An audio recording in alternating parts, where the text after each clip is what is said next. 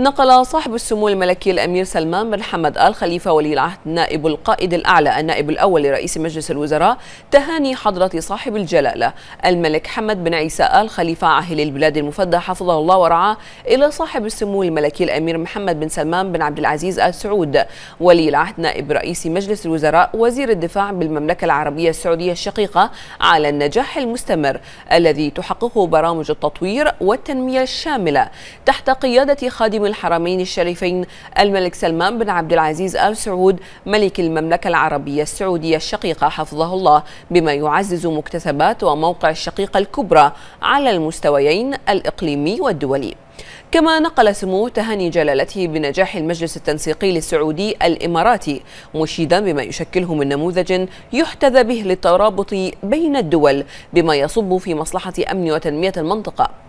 جاء ذلك لدى لقاء صاحب السمو الملكي ولي العهد نائب القائد الأعلى النائب الأول لرئيس مجلس الوزراء بأخيه صاحب السمو الملكي الأمير محمد بن سلمان بن عبد العزيز آل سعود. وذلك بحضور صاحب السمو الملكي الأمير عبد العزيز بن سعود بن نايف آل سعود وزير الداخلية وعدد من كبار المسؤولين بقصر السلام في جدة. وأكد سموه أن التاريخ الممتد للعلاقات بين مملكة البحرين والمملكة العربية السعودية الشقيقة له أثر راسخ في تعزيز أطر التعاون الوثيق والعمل المشترك بين البلدين الشقيقين ما حقق نجاحا ملموسا ومردودا مشتركا لتتوالى الانطلاقات المتجددة في المجالات كافة. وأشار سموه إلى أهمية ما يعمل البلدان على تطويره من أسس التعاون من خلال الخطط والرؤى المشتركة والأهداف الاستراتيجية الموضوعة ليثمر العمل المشترك والمتواصل بين المملكتين عن نتائج مستدامة تخدم شعبيهما الشقيقين في ظل رعاية واهتمام قادة البلدين. حضرة صاحب الجلالة الملك حمد بن عيسى آل خليفة عاهل البلاد المفدى وأخي خادم الحرمين الشريفين الملك سلمان بن عبد العزيز آل سعود عاهل المملكة العربية السعودية الشقيقة. حفظهما الله.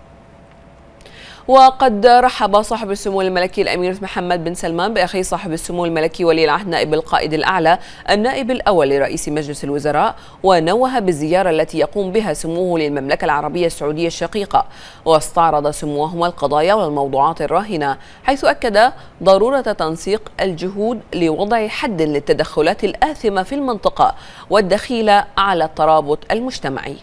كما نوه صاحب السمو الملكي ولي العهد نائب القائد الأعلى النائب الأول لرئيس مجلس الوزراء بالدور الناجح للمملكة العربية السعودية الشقيقة في قيادة قوات التحالف العربي لدعم الشرعية في اليمن الشقيق وجهودها البارزة والقيادية في مكافحة الإرهاب ودعم أمن واستقرار المنطقة مؤكدا سموه دعم مملكة البحرين الدائم للمساعي الخيرة التي تطلع بها المملكة العربية السعودية في هذا الجانب الهام.